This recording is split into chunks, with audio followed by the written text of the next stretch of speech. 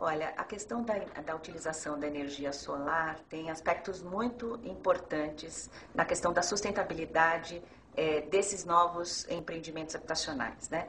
É, de um lado, nós vamos é, garantir uma contribuição às questões ambientais, né, utilizando energia limpa, mas um outro aspecto também muito importante é que nós vamos é, possibilitar uma economia é, dessas famílias no custo é, da energia, que pode chegar até 30%, que é um fator é, muitas vezes determinante para a sua permanência na, naquela habitação. Né? Elas saem de uma condição de muita vulnerabilidade, é, onde elas não é, costumam pagar todos esses custos e elas é, vão para um empreendimento novo, onde elas terão que arcar com todos esses custos. Essa, essa economia pode significar é, o, o, a linha entre elas ficarem ou não nessa, nessa moradia. Por isso, ela tem uma importância estratégica ambiental e é, social.